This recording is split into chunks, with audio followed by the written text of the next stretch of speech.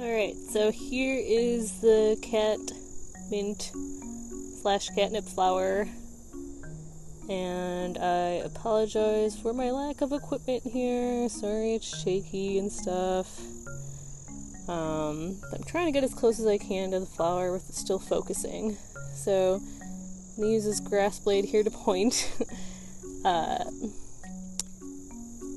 so here's the upper lobe and the upper lip, I mean.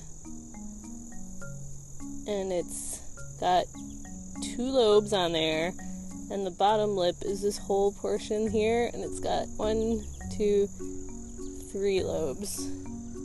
Um, and the color is always basically going to look like this, like whitish with some pink or purple markings. Um, and again, this is typical of the mint family to have these uh, irregular flowers with a divided lips, and each of the lips are lobed. Um, and another typical thing, let's see if I can get it to focus. So these are called sepals. Um, I'm just gonna point with my finger. Uh, these green, they're actually uh, modified leaves, and they're sepals. They're five sepals that are fused together to form a star-like pattern that is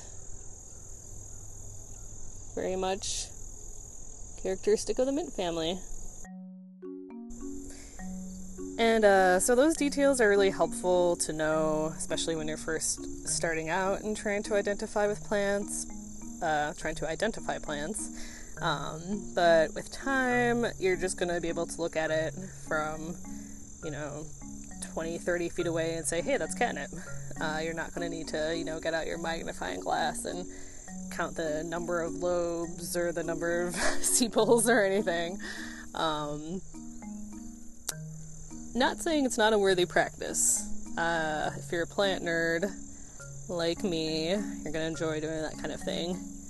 Um, but it's not always necessary for identification.